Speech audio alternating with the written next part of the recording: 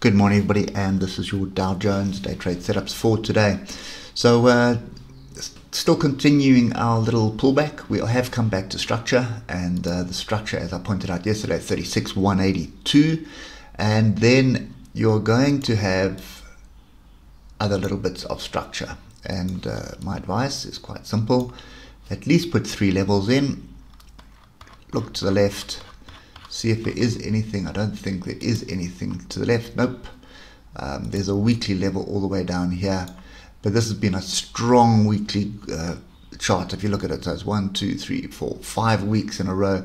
We do have a weekly gap down here, so um, this could be a one bar pullback in a bull trend.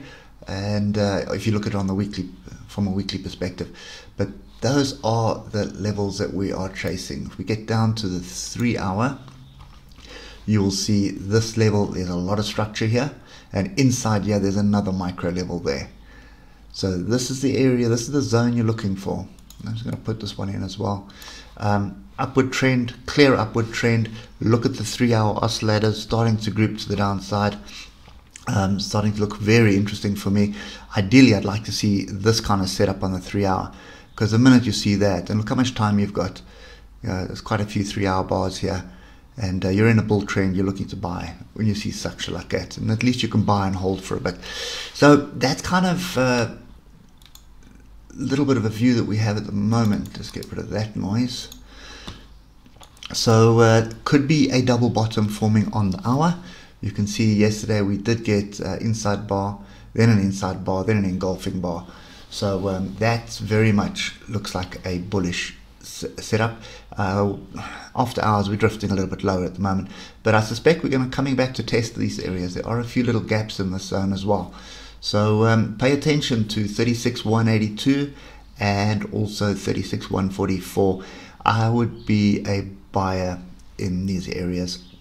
Uh, obviously, stop area is going to be below the swing low right here, and that is 36066. Uh, any move past that, so we don't get structure in this area, then I'd be waiting for 3600. Then I'd be waiting for this level here. Okay, so you know if we come into the zone and we start mucking around and we're still drifting low and there's no real setup, so no engulfing bars, no um, inside bars and no pin bars off any of these two levels, then sit on hands further and wait for 3600 to be tested. 3600 will more than likely bring some buyers back in, again being a nice big round number. So that's kind of uh, the view I've got at the moment. So been sitting patiently for most of the week, and now we're looking for a, an opportunity, and we're looking for structure. We're coming up to structure, which is looking pretty interesting.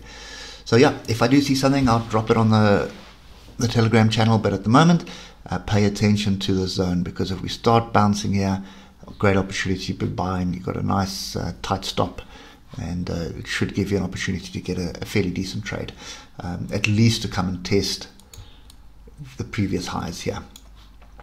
That's kind of the zone I'd be aiming for. 30, 36 487 or 36 500 area was uh, what I'd be aiming for.